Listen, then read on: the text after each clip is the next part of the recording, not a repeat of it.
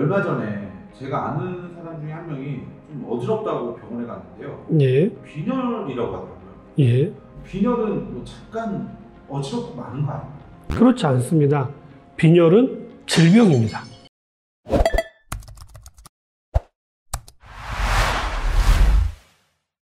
빈혈은 말 그대로 혈액이 부족한 상태를 이야기하는데요. 혈액이 우리 몸에서 하는 가장 대표적인 역할은 산소와 영양분은 공급해주고 또 노폐물과 이산화탄소를 배출해주는 우리 몸의 전체적인 대사를 주관하는 곳이 바로 혈액입니다. 그뿐만 아니라 우리 몸이 항상 일정한 수준을 유지할 수 있는 항상성을 유지하는 데도 절대적으로 필요한 게 바로 혈액입니다. 이러한 혈액이 부족하게 되면 우리 몸의 모든 부분에 영향을 미치게 되어서 심한 경우에는 사망에 이를 수 있는 아주 무서운 질병이기 때문에 꼭 치료를 하셔야 됩니다. 주로 나타나는 증상은 어지럼증인데요. 이런 어지럼증이 생기는 이유는 산소 공급이 원활하게 되지 않음으로 인하기 때문에 어지럼증이 나타날 수가 있고요. 또 얼굴빛이라고 하죠. 낯빛이 창백해지는 경우도 빈혈을 의심해 보실 수 있습니다. 자도 자도 피곤했을 경우에도 빈혈을 의심하게 되는 거고요. 또 심한 경우에는 두통이 심하게 나타나는 경우도 있을 수 있습니다. 조금만 움직여도 숨이 가쁘고 차다고 해도 빈혈을 의심해 볼 수가 있고요. 또 기력이 쇠약해진 상태가 3일 이상 지속된다면 꼭 빈혈을 의심해 보셔야 합니다. 이러한 빈혈의 원인은 여러 가지가 있을 수 있는데요. 가장 대표적인 게 철분이 부족하게 되면 빈혈이 올 수 있습니다. 왜냐하면 혈액이 부족해진다라고 얘기하는 것은 가장 대표적으로 적혈구가 부족하다라고 얘기하는 거고요. 이 적혈구를 만드는데 가장 핵심적인 원료가 바로 철분이기 때문입니다. 그래서 충분히 철분을 공급해 주지 않으면 빈혈이 올 수 있는 거고요. 철분을 아무리 잘 섭취한다 하더라도 이게 제대로 다 흡수가 되지 않으면 문제가 될 수 있습니다. 장내 환경에 변화가 생기게 되면 철분이 잘 흡수가 되지 않게 되거든요. 세 번째로는 혈액이 많이 소실되어졌을 때, 쉽게 말씀드리면 출혈이 있었을 때입니다. 특별히 여성분 같은 경우에는 생리를 매번 하시다 보니까 출혈이 있을 수밖에 없고요.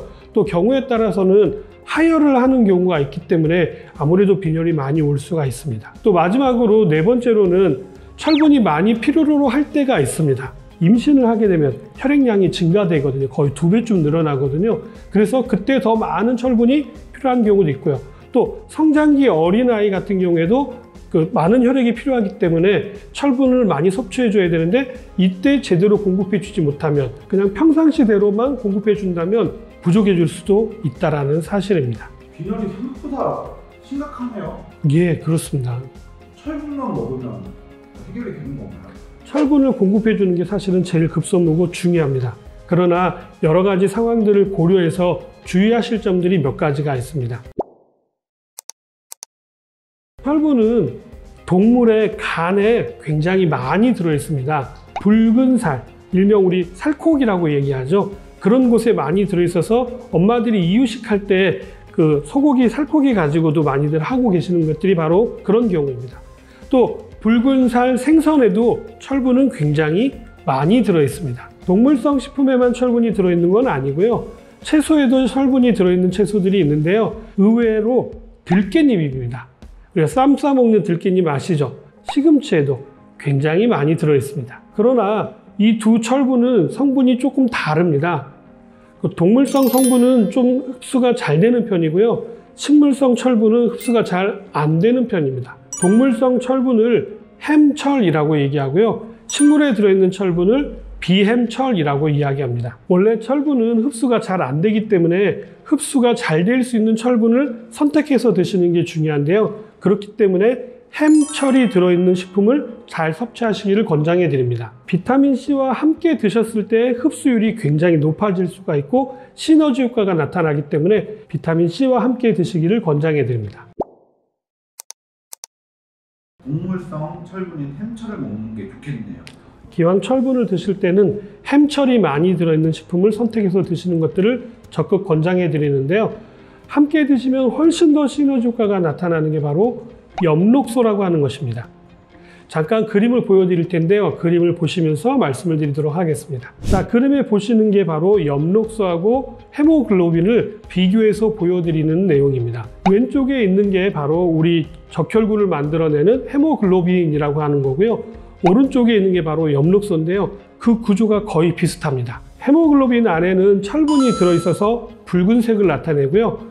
또 엽록소는 그 안에 마그네슘이 들어있어서 녹색을 나타내는 것입니다. 마그네슘을 먹었을 때 철분을 넣어주게 되면 어떤 일이 벌어지냐면 마그네슘 자리와 철분이 자리 바꿈 반응이 일어납니다. 한자로 얘기하면 치환 반응이라고 얘기하거든요. 그렇기 때문에 어, 헤모글로빈을 만들려고 했을 때는 굉장히 많은 시간이 걸리는데 엽록소를 같이 먹었을 때는 철분만 집어넣어줘도 바로 헤모글로빈처럼 변하기 때문에 조혈 작용이라고 합니다. 피를 만들어내는 작용. 그래서 빈혈에 좋다라고 이야기하는 것입니다. 빈혈이 심한 경우에는 뭐 철분제를 양을 좀 늘려서 두 배, 세 배까지도 드시는 경우들이 있는데요. 그렇게 드시기보다는 저의 생각으로는 철분을 일정량 드시고 엽록소를 같이 드시는 것이 철분을 많이 드시는 것보다 훨씬 더 효과가 빠르다라는 것입니다. 엽록소는 어디에 많이 들어있냐면요.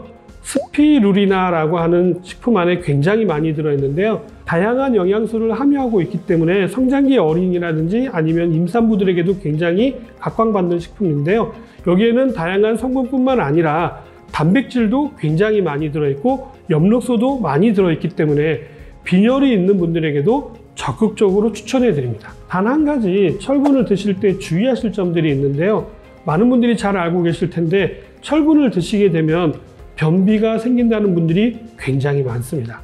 자, 이럴 때는 유산균을 따로 섭취하신다거나 아니면 충분히 수분을 더 공급해 준다거나 아니면 배변 활동을 돕기 위해서 식이섬유를 충분히 드셔 주신다면 크게 문제가 되지는 않으실 것입니다. 오늘은 쉽게 간과하기 쉬운 빈혈에 대해서 말씀드렸는데요. 어, 잠깐 어지럽다 말겠지라고 이런 증상으로 생각할 것이 아니라 생명을 앗아갈 수 있는 아주 무서운 질병이라는 사실을 꼭 기억하시면서 철분제도 잘 챙겨 드시기를 권장해 드립니다. 자, 오늘도 좀 도움이 되셨나요? 저는 다음에 좀 더 도움이 되는 내용 가지고 다시 찾아뵙도록 하겠습니다. 감사합니다.